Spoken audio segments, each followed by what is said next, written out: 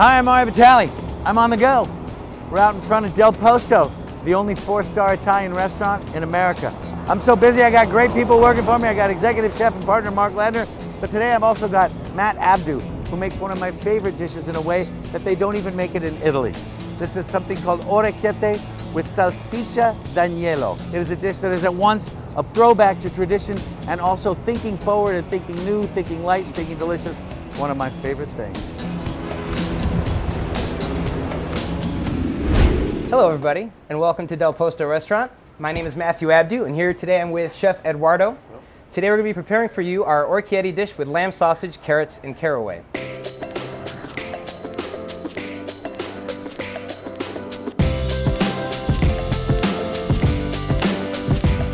Once we have our carrots all sliced, we're going to grab a pot and we're just going to put just enough carrot juice over the carrots to cover.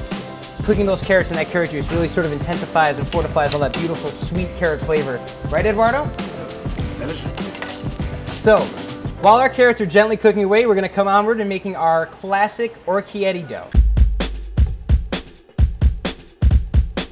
Orecchiette is one of my absolute favorite pastas. I love the shape, I love the texture, I love the mouthfeel, and most importantly, I love how quickly that it cooks.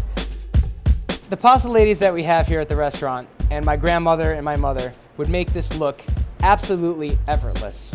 Think I need more practice, huh? I think so. While our orecchiette is done, our last component to our dish is our lamb sausage.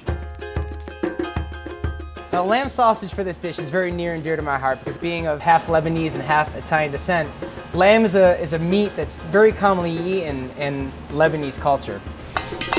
We just want to bring all the spices and all the flavors all together. It's all going to be a nice, beautiful, even mix. Oh, is it spicy? Woo! We're going to come over to finish our beautiful carrot puree. That's going to be our final garnish. It's time to put it all together and make our beautiful finished dish. This is where it all comes together. This is where all the magic starts to happen. We're bringing it all together to finish it up with a little bit of Parmesan cheese, extra virgin olive oil. We're gonna go from there to our beautiful plates. And just to finish the dish, we're gonna take some freshly picked carrot tops.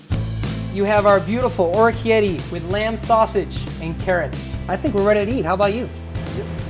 So from our kitchen at Del Posto to yours at home, thank you so much for being a part of this, and I hope you guys get a chance to make this dish yourselves. It's absolutely one worth trying. It's for me. Of course.